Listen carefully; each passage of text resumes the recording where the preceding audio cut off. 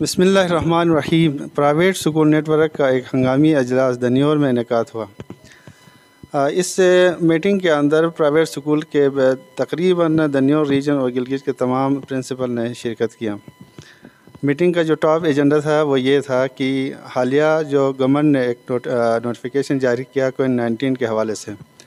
اس کے اوپر تمام پرنسپل نے اپنے تحفظات کا اظہار کیا اور گورنمنٹ سے اپیل کی۔ کہ اس سے نوٹیفیکیشن کے اوپر ریویو کیا جائے۔ بیسیکلی اگر دیکھا جائے تو گلگت بلسان کے اندر کوئی کووڈ نائنٹین کے اتنے کیسز نہیں ہیں جتنے اجلت میں انہوں نے فیصلہ صادر کیا اور فیصلہ کو ایشو کیا۔ ہم گورنمنٹ سے یہ گزارش کرتے ہیں کہ یکم اور سے لے کر دس تاریخ تک جو ہے نا پرائیویٹ سکولوں کے فیسز کلیکشن کے جو ٹائم ہوتا ہے،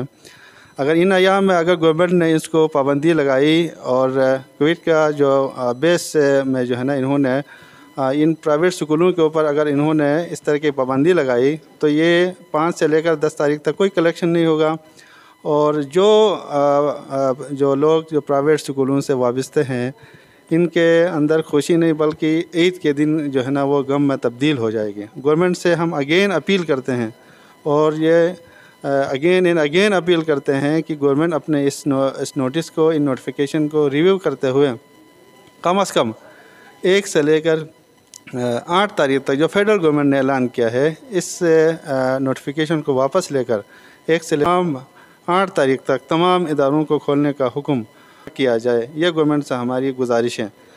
تا ہوں کہ تمام پرائیویٹ سیکٹر کے اندر ایس او پیز کا بھرپور طریقے سے خیال رکھا جاتا ہے اور اس کا واضح ثبوت یہ ہے کہ ابھی ابھی تک کوئی جو ہے نا ایسا کیس پرائیویٹ سیکٹر سے کوئی کیس جو ہے نا وہ ڈیٹیکٹ نہیں ہوا ہے۔ ہم ذمہ دار لوگ ہیں اور ہم نے یہ ہماری ذمہ داری کا واضح ثبوت ہے کہ کوئی پرائیویٹ سیکٹر سے ٹین پرسنٹ یا فائیو پرسنٹ سے اوپر جو کیسز ہے وہاں پر لاک ڈاؤن کیا جاتا ہے۔ الحمدللہ یہ ریجن جو اس سے جو ہے نا اتنے کیسز نہیں ہے خیر جو نا روڈ پہ نکل کے، بچوں کو نکال کے یا ٹیچرز کو روڈ پہ لے کے جانا، ہم سمجھتے ہیں کہ ہم جو نا ہماری شاع نشان نہیں ہے۔ ہم سفید پوش لوگ ہیں، یہاں پہ ہم بچوں کی تربیت ہم اس انداز سے کرتے ہیں کہ معاشرے کے اندر مہذب اور پیسفل رہیں۔ تو ہم اس چیز کو انکریج تو نہیں کر سکتے کہ وہ روڈ پہ نکل کے یہ چیزیں کریں لیکن اتنا گورنمنٹ سے اتنی ریکویسٹ کر سکتے ہیں کہ جو نا اس چیز پہ جیسے سر نے فرمایا کہ تھوڑی سی ریویو کی جائے، اس ڈیسیجن کو تھوڑا سا ڈیلے کیا جائے، کم از کم کوئی سات آٹھ تک اگر ڈیلے ہوتا تو یقیناً ہمارے گھروں کے اندر بھی، ہمارے بچے بھی، اور جو جو ہم سے وابستہ ہیں، وہ ان کے بچوں کے، ان کے گھروں کے اندر بھی عید کا سما ہوگا۔ ورنہ پچھلے سے ہم اتنا کرائسس کا شکار ہیں۔ اور مزید عید کے دوران گورنمنٹ نے بالکل یکم سے جو نا، انہوں نے جو فیصلہ کیا ہے، ہم اس کو really we really condemn and we do hope کہ گورنمنٹ اگین تھوڑا سا اس چیز کو ریویو کرے اور پچھلے کووڈ کے ہمارے پاس چلتے آ رہے ہیں۔ ابھی تک ہم ریکور نہیں کر پائے ہیں۔ اور اس وقت بھی اگر دیکھا جائے پاکستان کے اوپر پورے اس پہ ہم، تو ابھی کووڈ کا جو ایشو ہے، وہ گلگت بلدستان میں اتنا نہیں ہے جتنا پورے پاکستان کے اندر اس کو بتایا جا رہا ہے، اس کو کور کیا جا رہا ہے۔ تو میں پرائیویٹ انسٹیٹیوشنس ہیں، وہاں کے جو مالکان ہیں، وہاں کے جو ٹیچرس ہیں، وہاں جو فیملیز ہیں، وہاں پہ جو ان کی ان نے پلتی ہیں۔ تو مسئلہ سارا ان کا ہے۔ ان، یہ بیچارے جو سفید پوش لوگ ہیں، ہم جو ٹیچرس جو ایسوسیشن کے ہیں یا اسکولس کے ہیں یا کالجز کے جو پرائیویٹ ہیں ان کا بڑا مسئلہ یہ آ رہا ہے کہ کیسے یہ لوگ اپنے فیملیز کو اچھے انداز میں آگے اس عید سے عید کی خوشیوں میں شامل کر سکتے ہیں جب تک جب تک کہ گورنمنٹ کوئی اس طرح کی کوئی پالیسی نہ دے یا اس طرح کچھ کیا جائے کہ گورنمنٹ کی طرف سے ان کو، ان پرائیویٹ انسٹیٹیوشنس کو کچھ اس طرح ہیلپ کیا جائے اس دوران جو کووڈ کا جو مسئلہ ہے اس میں تاکہ یہ بھی فیملیز باقی تمام دیگر جو گورنمنٹ کے جو ادارے ہیں ان کی طرح یہ فیملیز بھی اپنی عید کی خوشیوں کو منا سکیں گی۔ سے ان انسٹیٹیوشنس کو بند کیا جائے گا۔ جیسے یہ کرتے ہیں گورنمنٹ سے کہ اس طرح ان کو مجبور نہ کیا جائے۔ یہ جو پوری جنریشن کو بنانے والی ایک نسلوں کو بنانے والے جو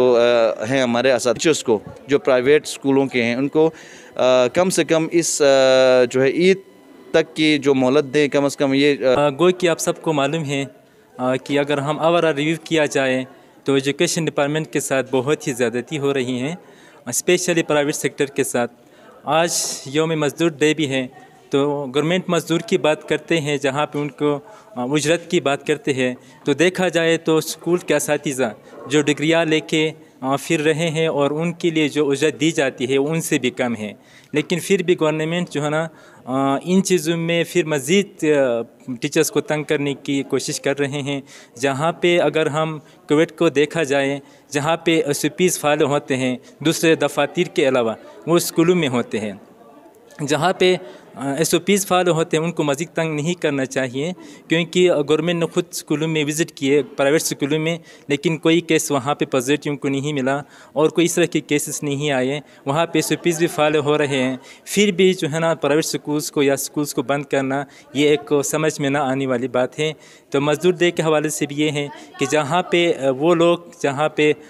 سفید پوش لوگ ہیں، جہاں وہ نہ کہیں پہ جا سکتے ہیں، نہ کسی سے اپنے جو ہے نا مطالبات کا اور نہ کسی سے جو ہے نا کوئی چیز مانگ سکتے ہیں، پھر بھی محنت کرتے ہیں